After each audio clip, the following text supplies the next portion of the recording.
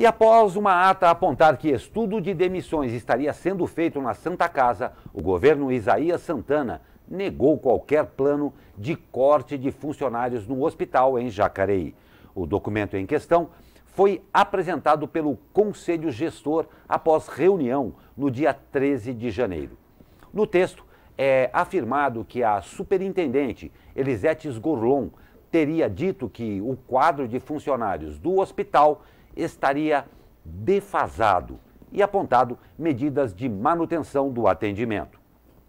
Entre os exemplos estaria um estudo para a demissão de colaboradores que não precisariam de substituições.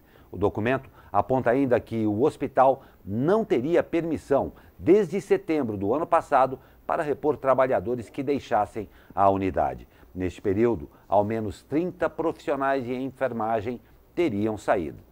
A ata do encontro tem a assinatura do superintendente e de outras 14 pessoas. Em nota, a prefeitura informou que houve um equívoco na elaboração do documento que ainda não teria sido conferido pela superintendência. Pois é.